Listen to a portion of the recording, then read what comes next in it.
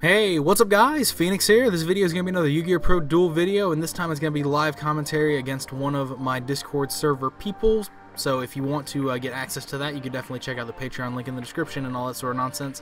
It'll give you information on how uh, how you can deal with that as well as get entry into a monthly giveaway. But this deck that you see on screen is something that I'm actually really curious about trying out.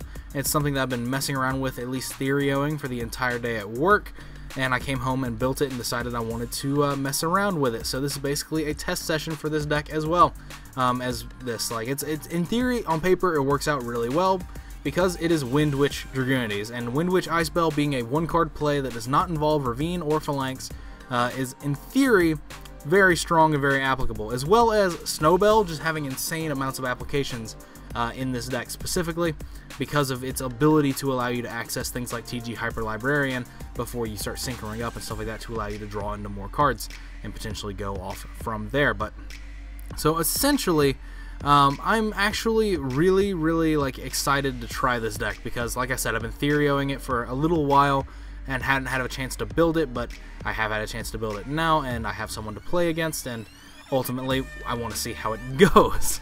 Uh, but basically, like I said, it's pretty it's pretty clear cut how it's supposed to operate. You special your Ice Bell, use Ice Bell to get Glass Bell, which gets your Snow Bell, and then you're able to make a Crystal Wing that is indestructible by card effects from your opponent before you even normal summon, meaning that you're then able to follow up with something like Ravine Phalanx or Ravine Zephyros, and then you're able to make either another Crystal Wing or a Stardust Dragon. And on your way into the Crystal Wing, I'm not playing the Wind Witch level 7, but I am playing Clear Wing because this deck does have the Atum capabilities within it still, thus meaning that Clear Wing at any point in the future after your Ice Bell play is resolved, if you're making an Atum combo play, then you can just Darkness Metal bring back the Clear Wing at some point for the combo string to end and have a clear solution. So like, ultimately, I'm really like, uh, I'm really hyped to like try this out um, and see how it functions, and I really want to play test with it and uh, make some changes to it and revisions to it and possibly even play it at an upcoming event sometime soon. But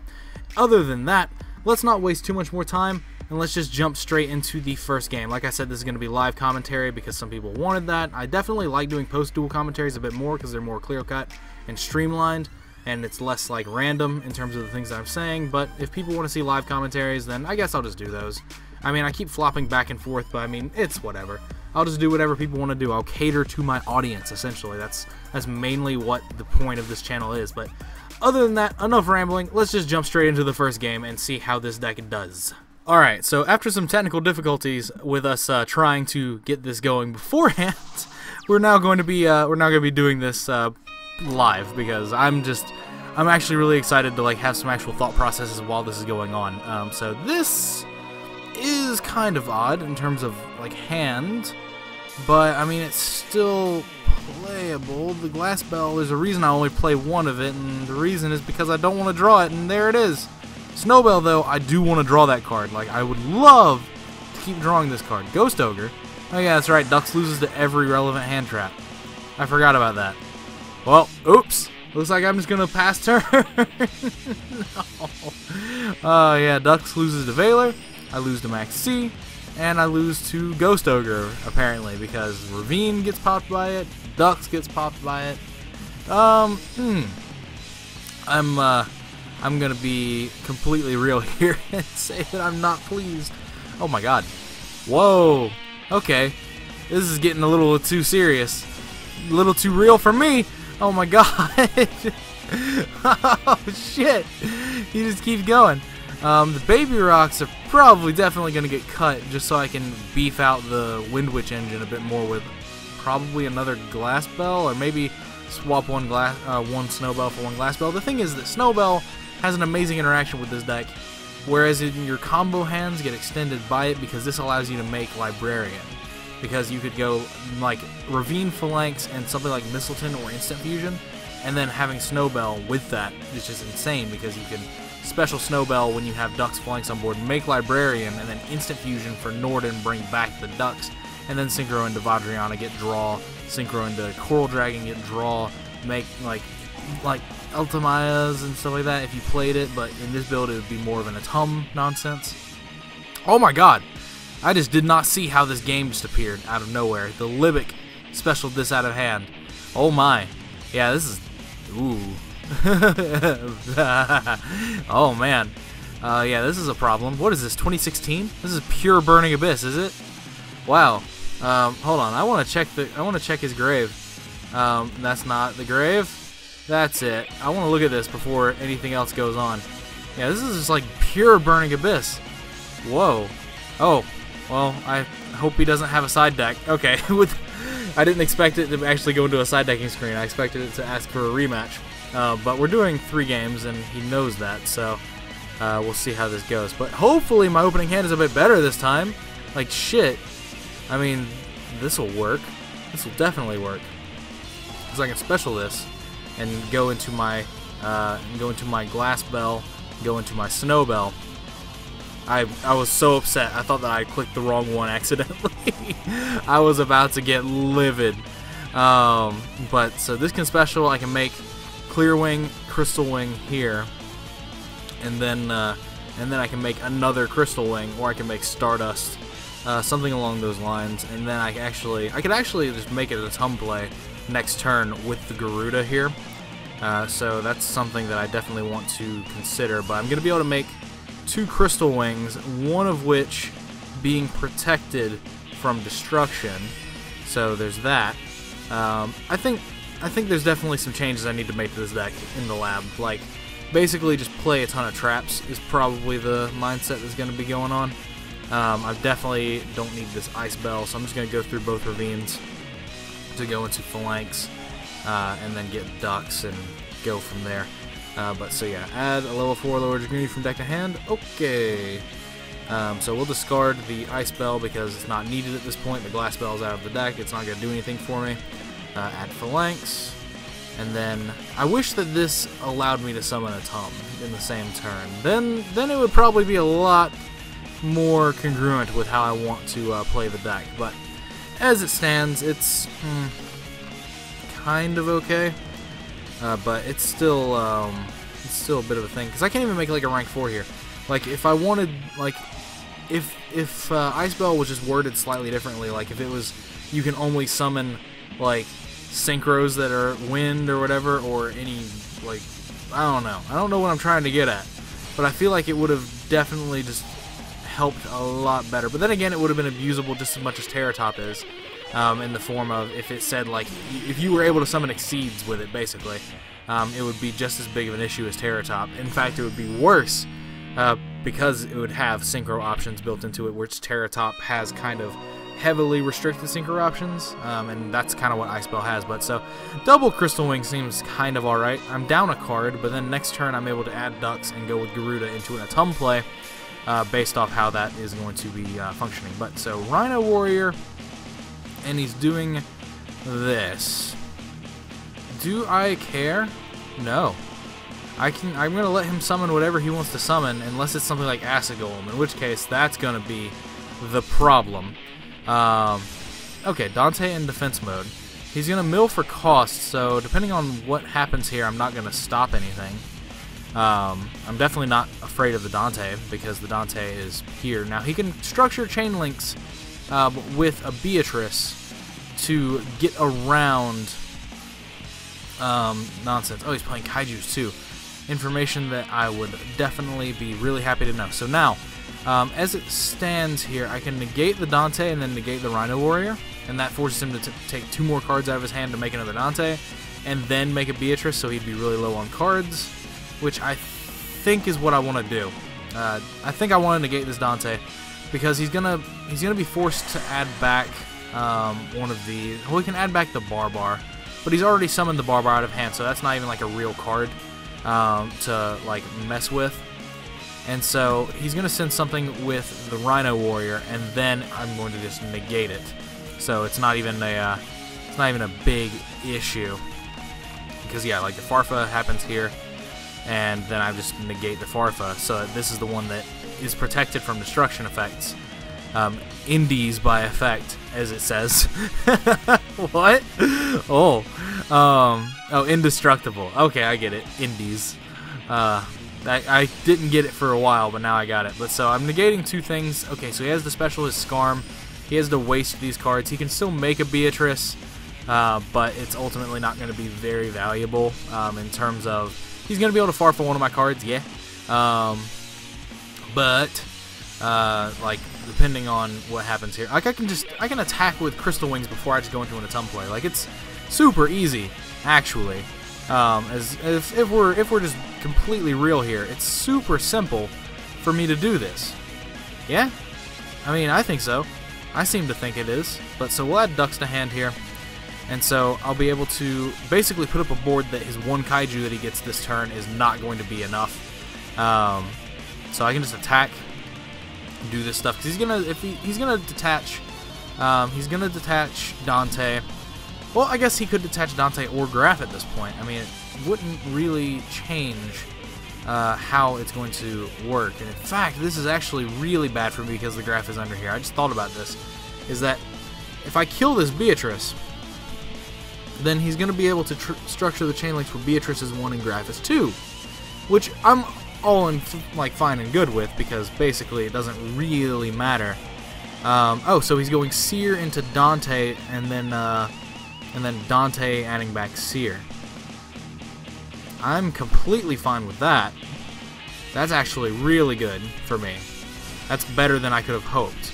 Um, but yes, I will replay the battle, and I'm going to attack over the Beatrice because it just uh, it's something that I want to deal with. Like it's like the fact that he didn't farfa these it, one of these is something that I'm finding a little bit strange because now I don't have to waste. And now the chain links are just not in an order that's probably correct. Because now I get to just negate the Beatrice. Hmm. Interesting. I would have definitely expected the Beatrice to be 1 and the Graff to be 2. That's that's what I thought at least. That's what I thought was about to happen. Turns out I'm just wrong.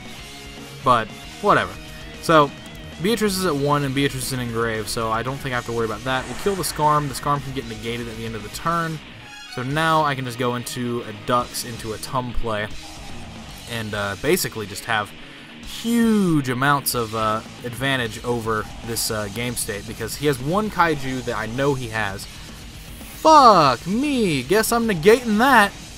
Um, like, I definitely wanted to negate, like, the Scarm, but I will definitely negate that card. I oh, ooh, scary, scary stuff. Not something that I'm more, not something that I'm willing to deal with now. Not at all. Uh, but so I've got this Garuda, which means that I can go into Gae Dearg here and do uh, my stuff. So banish a Dux from grave because it's irrelevant. And so from here, I mean, the deck is functioning, but I still just, I feel like I just need to cut some things down and basically just I don't know, maybe maximize on the Ravine Zephyros interactions, um, and then have the uh, Glass Bell thing happening as well. Uh, but I don't know. It could be it could be something that has to go into the lab. I just think that more traps are needed because having Crystal Wing backed by traps is just a huge, huge asset um, that I should probably be focusing on. Um, but I need to discard this. uh, it's it's just a huge thing that I need to figure out how to how to build this deck more economically because I'm trying to combo with it. But the thing is that Ice Bell conflicts with all of the combos, but Ice Bell is a one-card starter, so it's really appealing. Um, so there is that. But, alright, so we'll activate this. I don't need to bring back the Gae Dearg here.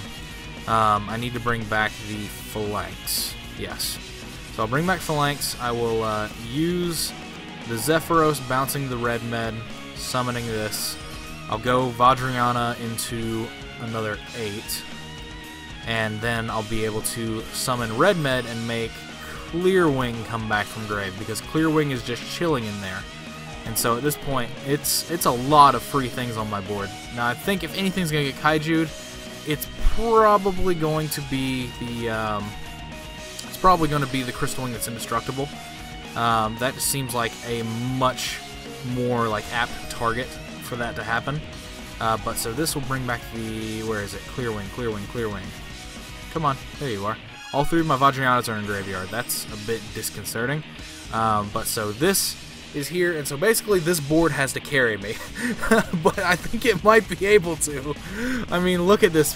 Look at this protagonist power going on over here. Clear Wing, Crystal Wings, and Stardust Dragon. Like, I, what a what a fucking protagonist style board. Like, look at this. Um, okay, now I need to actually read this card's effect again. Level 5 or higher monster on the effect activates its effect. Yeah, so it gets to add a kaiju. Um, when a monster effect is activated, targets exactly one level 5 or higher monster. Mm-hmm. Destroy it. Okay. So basically, he's stuck between a rock and a hard place here. Where he has to get rid of my crystal wings, but he also has to get rid of the red med, or else he's not going to be able to deal with the um, with the uh, crystal wings coming back off of the kaiju. Like it's it's a very simple interaction. Virgil, ah, all right. Uh, well, so that's activating, which means I'm okay with letting that happen. Because this can actually just negate Virgil. Like, that's actually really good. Uh, Alec negating that. Um, let's, can, uh, let's see. Uh, yeah, I can use this effect twice. I will. I will do that. Yeah. Alright. So I can then also negate the Virgil with this if I wanted to. Because it would be a level 5 or higher monster on the field activating its effect. Okay, so he's discarding Cir, trying to shuffle back a Crystal Wing. And so I will negate it with the Clear Wing. Yeah! Alright. I love I love this board. I love this interaction. Now he's got a Kaiju, and his Cir and his Virgil are able to activate. And this Clear Wing is big as shit. Um, so he gets to do that. He gets to do that. Uh, Virgil is activated, drawing a card. I'm not going to negate that because as soon as I do, he's just going to drop a Kaiju over the other Crystal Wing. And uh, and this thing is a once per turn effect, yeah? Uh, let's see, yeah, once per turn, you can shuffle a Burning Abyss, or you can discard a Burning Abyss card. So he's going to be able to use this effect again if he wants to. Um, I'll be able to negate it with uh, a Crystal Wing. So I will negate it. I'm going to negate it with this one, just because this one is the one that's indestructible. And so it's incentivized for him to kaiju over this one, specifically. Um, especially since it would be big, and then this one would still have its effect loaded. Um, so, like, there's that. But so he's able to use Virgil. Um, so yeah, see, like it just it worked out in my favor because now he's got one card in hand. He's already used his normal summon, and he just kaiju'd over this, and I still have the one that's indestructible by card effects. What is it with us in drawing Max C as a turn late? I don't get that. I don't understand. Um, but so this will activate, doing that. Um, and so now it's pretty clear cut, I believe um, of just uh, I don't know why my mouse is being all twitchy like that. I don't like it. Uh, but so we'll attack with this, and I'll just be able to shove a bunch of damage down. Um, basically, just basically putting up a recurable wall of monsters that he can't really deal with because of like the very clear-cut attack point ceiling that his deck has, um, which is basically like 25. It's it's very hard to deal with anything over that um, outside of things like F Zero and like Break Sword, but I have effect negation, so that's that's the biggest like detrimental thing to him. But so, okay, so we've got one more game after this, and the first game went really quick, and that one ended up being pretty like lengthy in terms of uh, in terms of the fact that it's had interactions back and forth between uh, me trying to play around Farfa that actually never ended up showing its face. So I'm actually really curious about that. But yeah, I definitely want to experiment with some builds of this a little bit more. It's definitely an idea that I'm really liking. Hell, it might even be to the point where like Ice Bell isn't even played. I don't want to say that, but it might actually just be the case. Like I might literally just only play that level 1 tuner in a regular Dragunity deck just because of the fact that access to Librarian is such a huge thing that the deck has always needed. And it just means that it'd be incredible. Like, if if I'm playing three Ice Bell in the regular Dragoon deck and that's it, right? I would literally max out on Garuda. I would totally max out on Garuda the Wind Spirit. No contest, because if you had a hand that was Ravine Phalanx Instant Fusion and Ice Bell, or if you had a hand that was Ravine Phalanx Garuda and Ice Bell, like you could you can just make Librarian and you can just do all these sorts of things. Now what's going on here? Is he just is he actually side decking? No, that can't be. I don't understand what's going on anymore. I don't even have a side deck. My side deck is hieratic cards. My side deck is just cards that I'm considering. But um, but yeah, so Ice Bell is like, regardless, I think a card that's probably going to be a staple in how the deck goes forward. Um, I drew the max C. That means I'm a champion. Um, in case you didn't know.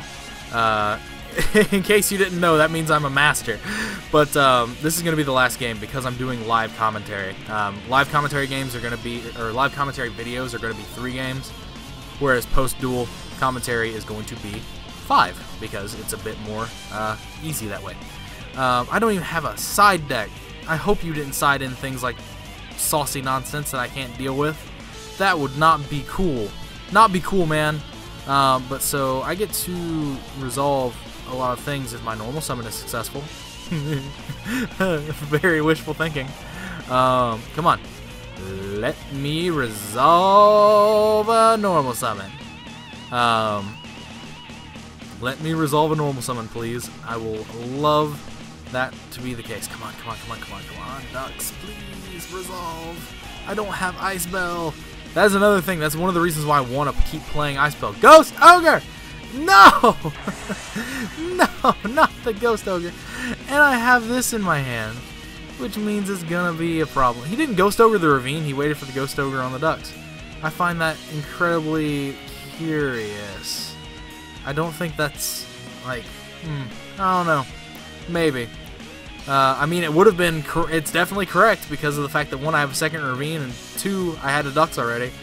Uh, but damn it, I'm just to lose this one out of principle. That's the thing I don't like about this deck, as well as what I don't like about DDDs, is that it loses to literally every hand trap. Uh, it loses to Ghost Ogre, it loses to Max C, it loses to Veiler. DDD is the exact same way. Um, this deck also loses to DD Crow, and so does DDD. Um, so, like, it's just a huge deterrent for me wanting to play this deck. Um, but at the same time, it's such a cool concept. Uh, so like I actually want to play with it. Um, I think Desires needs to go back in. There's just I want to play like 50 cards. Can I just play like 50 cards? I think that's how this is gonna go. um, because like ugh, ugh. I mean, I thought about playing this for YCS Atlanta. I did because uh, YCS Atlanta is coming up on March 4th and 5th of this year, and I definitely have thought about playing this deck for YCS Atlanta, um, at least in a more refined version. Uh, so we will see. Oh, do I die this turn? Am I not dying? Whoa, cool. I mean, I'm I'm technically dead, let's be real, because of the fact that he's going to be able to make Beatrice and send Farfa. Um, since he already has, I believe, a Scarm Search uh, set up. Yeah, he has a Scarm Search. Uh, what is... Uh, I'm going to pause this for a second, and my mouse is being incredibly sensitive. I don't like that. So there's a Calcab and a Libic, and that's actually pretty mundane. Um, okay, so that's a Cagna. There's Beatrice. So as long as this card isn't anything relatively real, um, Downer Magician on top of that one. Hmm. Weird. Alright, so this gets to search for a card, I guess. And it's probably going to be, oh, Rubic, really? I was not expecting that. I was expecting it to be Farfa or Tour Guide, but the Tour Guide might actually be gone. Um, possibly? Who knows? Alright, so here is the deal, Lucille. I'm going to use this now. Mm -mm -mm. The problem is, is that I don't have something like Instant Fusion. If I had something like, if I had a card like Instant Fusion, then I would definitely be completely fine with how my hand is structured, right? it would be really easy for me to deal with. Because of the fact that I would be able to, you know, summon Dux, it gets stopped by whatever this card is, or the Farfa, and then it would be, you know, pretty simple because it would be, um, it would be like I'd be able to instant fusion, get the phalanx back, tribute it for Mistletoe, then special Garuda out of hand that I just drew. Like it would be really potentially strong. Um, but see, like here, I'm just gonna I'm just gonna get Farfoot, and that's gonna be the end of that. Uh, because I'm playing against a 2016 deck with a 2011 deck. Um, and so one is inherently a bit better than the other. Uh, but this is definitely a deck that, even though I'm losing here, I definitely want to try and refine this, like I've said. Uh, I definitely want to keep giving it shots in the dark. Now, I don't even have a rank 4 to play. Uh, so yeah, I just lose. I just 100% lose. No way around it. I just lose right here and now. So I'm going to cut this video here and leave it like this.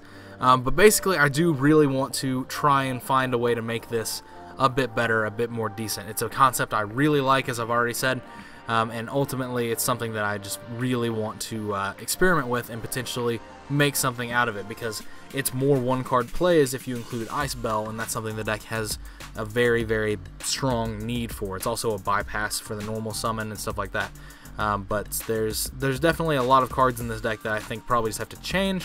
I don't know. Might go after the Glass Bell or not Glass Bell, the uh, the pure Ice Bell, just nonsense, and just try that there's there's a lot of different things I'm wanting to try. But anyway, as always, guys, thanks for watching. Like, comment, subscribe to all the nonsense you usually do. Links are in the description to my Facebook page as well as my Patreon page if you want to consider going there and donating and pledging or even checking out the reward tiers.